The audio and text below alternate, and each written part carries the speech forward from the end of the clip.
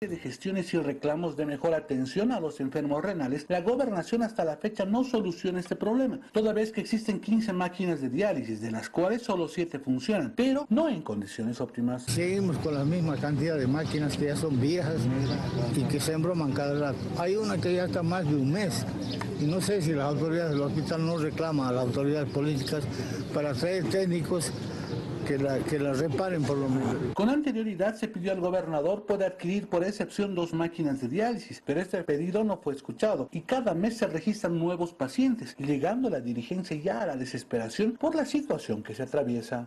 Gasta plata y, y y no fijaron en los otros. En este mes de julio, como les digo, han entrado más de 10 nuevos enfermos y han muerto 5 porque se mueren, porque no tenemos una atención buena.